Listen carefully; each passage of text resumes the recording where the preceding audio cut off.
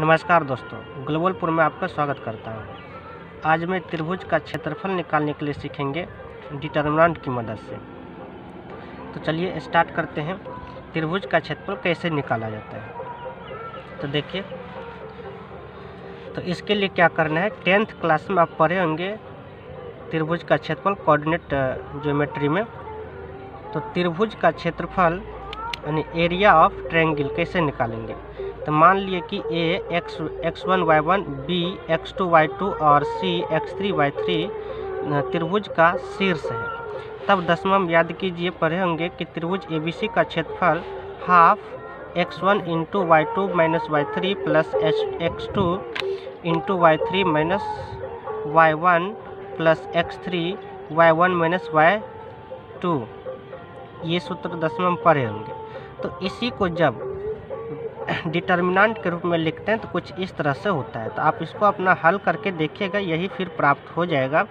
इसलिए डिटर्मिनेंट की सहायता से भी हम किसी त्रिभुज का क्षेत्रफल आसानी से निकाल सकते हैं। तो कुछ एग्ज़ाम्पल लेते हैं और समझते हैं।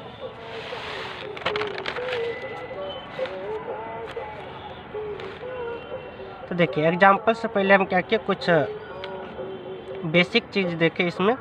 आ, नोट में लिखें कि क्षेत्रफल का क्षेत्रफल हमेशा धनात्मक राशि होता है इसलिए इसका केवल मापांक मान ही लेते हैं। मतलब अगर माइनस में अगर निकल जाए डिटर्मिनेंट का मान और क्षेत्रफल निकाल रहे हैं तो उसको प्लस में ही लेंगे। दूसरा है कि जब तीनों बिंदु संरेखी हो तो क्षेत्रफल का मान शून्य होता है। अर्थात एक ही रेखा पर हो तो त्रिभुज बनेगा ही नहीं नहीं बनेगा तो क्षेत्रफल शून्य हो जाएगा। तीसरा है कि यदि क्षेत्रफल दिया रहे तो उस मान के साथ धन और ऋण दोनों चिन्ह लेते हैं।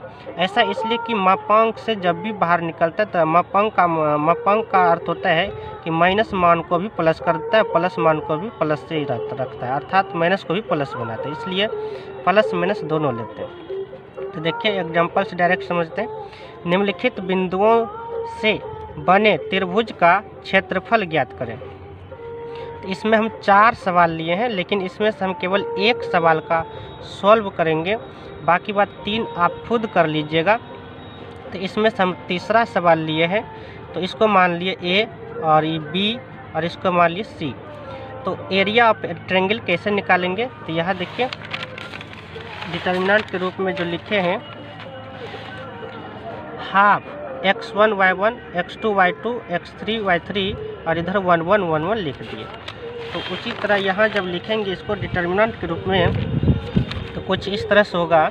Half x one minus two y one y one x one y one तो ये माइनस तीन, उसके बाद थ्री थ्री टू और माइनस एक माइनस आठ वन वन वन लिख दिए। तो ये हाफ़ तो पहले से इसको खोलिए डिटर्मिनेंट को।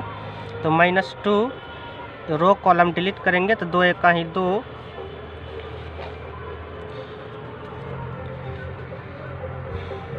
तो दो एक ही दो माइनस माइनस प्लस हो जाएगा आठ। यहाँ होता है माइनस लेकिन पहले से माइनस है, इसलिए प्लस हो गया। तीन लिए, इसके रो कॉलम डिलीट हो गया तो तीन एक ही तीन।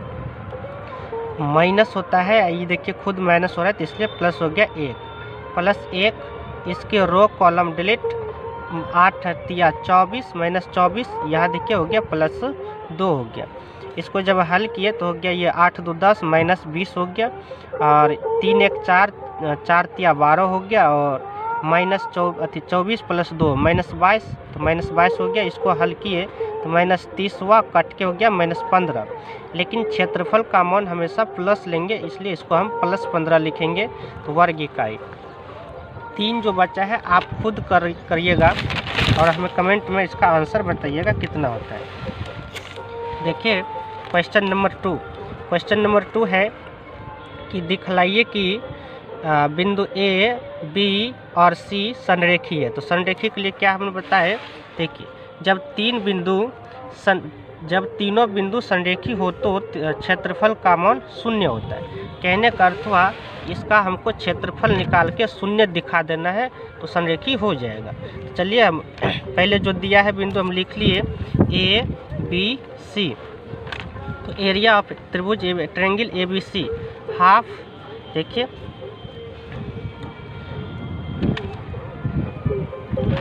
इसको लिख लिए A x one y one. उसके बाद एक्स टू, वाई टू और एक्स थ्री, वाई थ्री लिख लिए, वन वन वन लिख दिए। इसको सॉल्व करेंगे।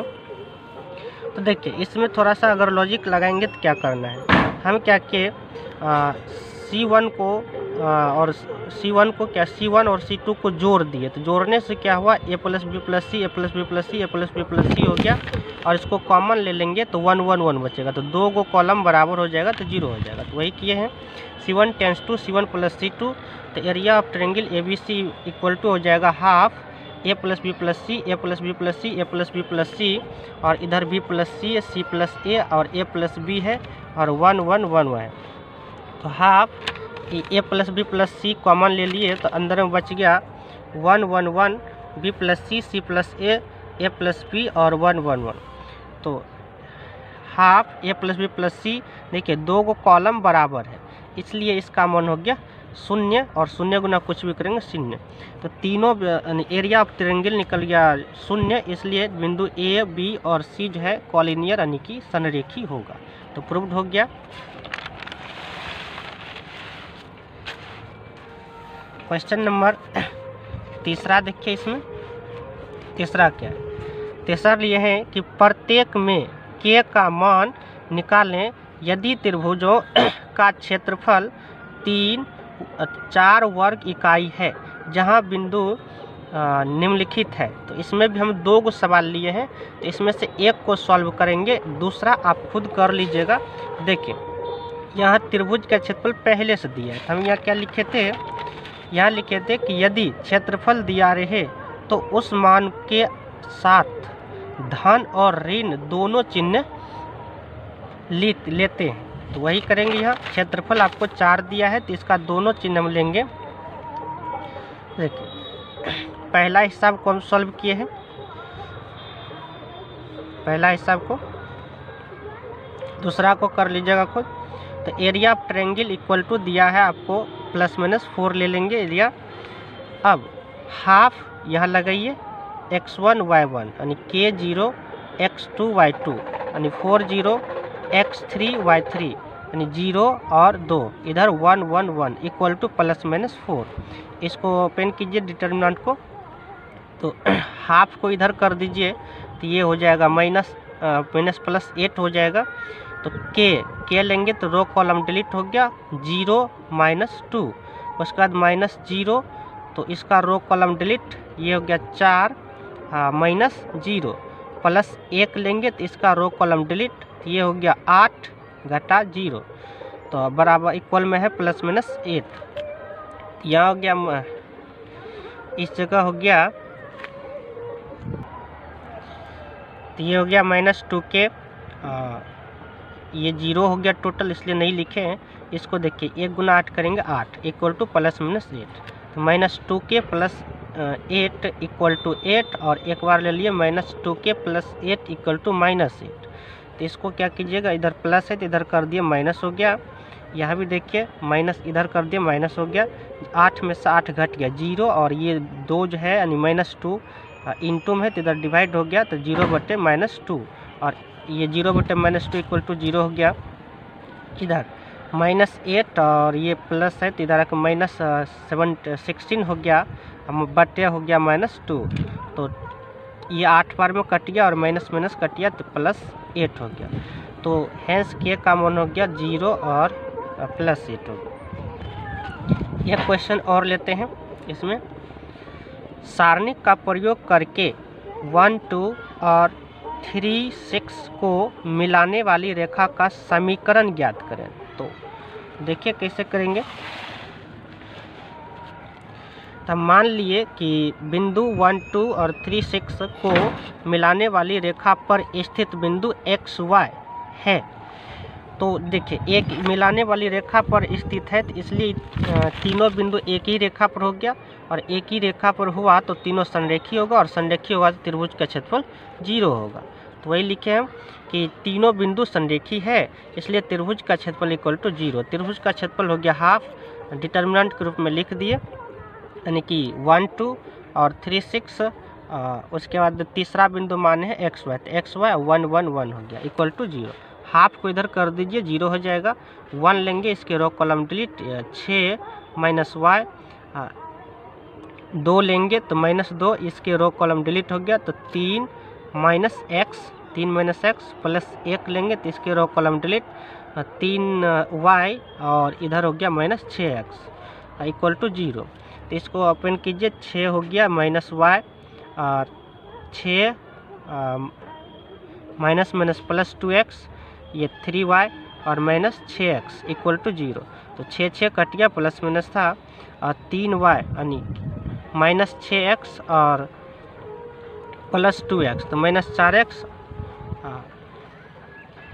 तीन वाई और माइनस हो गया वाई तो हो प्लस टू वाई हो गया इक्वल टू ज़ीरो तो माइनस टू कॉमन यहाँ से ले लिए तो हो गया two x minus y equal to zero तो इसको इधर कर दीजिए तो हो गया two x minus y equal to zero यही हुआ फाइनल समीकरण, आपका आंसर हो गया। Thank you watching for this video